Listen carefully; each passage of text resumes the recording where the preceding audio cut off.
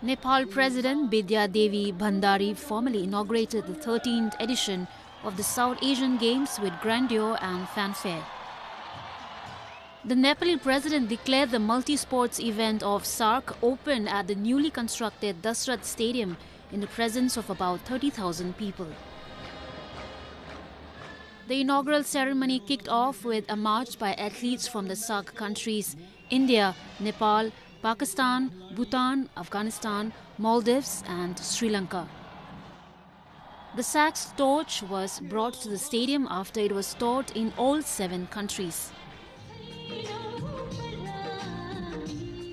The ceremony saw a glittering performance of a troupe of 7,500 artists and students who performed the traditional Lakhe dance in the stadium that was decked with lights, flowers, frills and flags.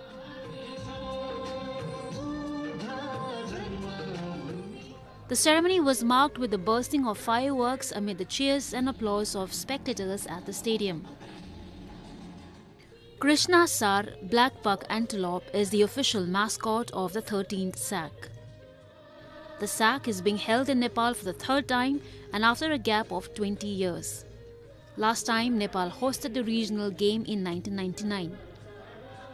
During the 10th day event, around 3,000 athletes from the seven SAARC countries will compete in 26 different sports at different venues across Nepal, including Kathmandu, Pokhara and Janakpur.